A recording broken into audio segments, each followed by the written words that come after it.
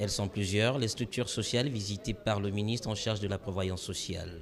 Vétusté, des salles, manque de personnel et d'autres besoins ont été présentés.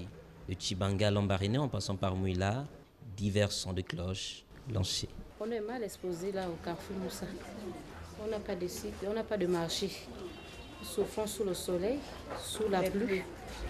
Donc euh, là, on cherche à avoir une place, vraiment un marché où on peut faire même un hangar qu'on s'installe là au Carrefour, puisque la, la, la position du marché est bonne.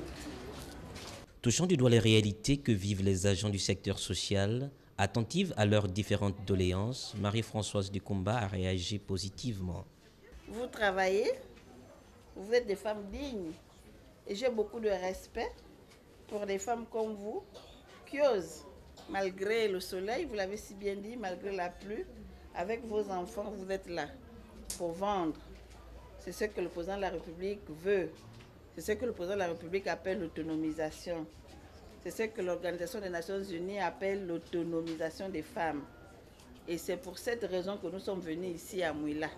Pour le coordonnateur national de la stratégie d'investissement humain du Gabon, le pacte social est l'expression de la volonté du gouvernement de lutter contre la pauvreté, la précarité et les inégalités sociales qui gangrènent les populations gabonaises.